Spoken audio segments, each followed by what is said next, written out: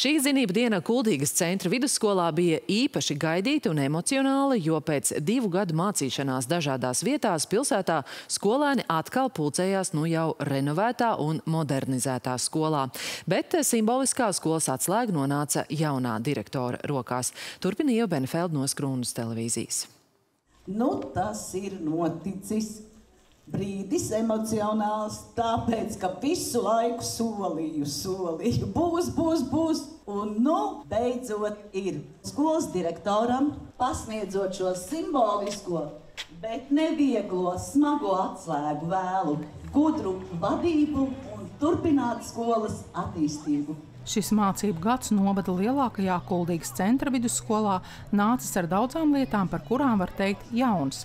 Lai arī bija plānots, ka apjomīgais skolas modernizācijas projekts ilgs gadu, Covid-19 pandēmija, Krievijas karš Ukrainā visu ievilka par gadu ilgāk. Pa to laiku skolēni un skolotāji darbojās sešās dažādās adresēs. Nu, beidzot, visi ir zem viena jumta.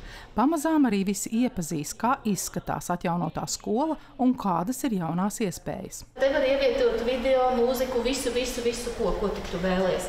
Man patīk mana profesija, jo es nekad nevaru novecot. Šis ir nākotnes ekrāns, un man ir jāmācās ar to strādāt, un mēs ar skolēniem mācīsimies kopā, un te ir bezgalīgas iespējas. Es esmu ļoti laimīga. Patiešām, tāpēc, ka man te ir mainījies pilnīgi viss. Sākot ar tehnoloģijām, beidzot ar kabineta soliem, ar sekcijām, kas man bija vēl no vecās astoņgadīgās skolas, kas bija ļoti, ļoti sen. Man vairs nav čīkstošā grīda. Es atnācu, kā tieši sāk renovēt, tā kā es neesmu redzējis pat arī vecās klases, bet, nu, manuprāt, tas smuka, tāda moderna, man patīk. Projektā daļēji pārbūvēta ēka, izremontētas klases, izveidota ergonomiska mācību vide ar modernu aprīkojumu. Vecās sporta zāles vietā ir multifunkcionāla auditorija, arī mediju mācību telpas. Otrajā stāvā tapusi jauna piebūve, kurā izveidots dabas zinību eksperimentu centrs Ziemas dārzs. Visu stāvus iztaigāja ļoti skaisti, tikai ne tik tajā Ziemas dārzā.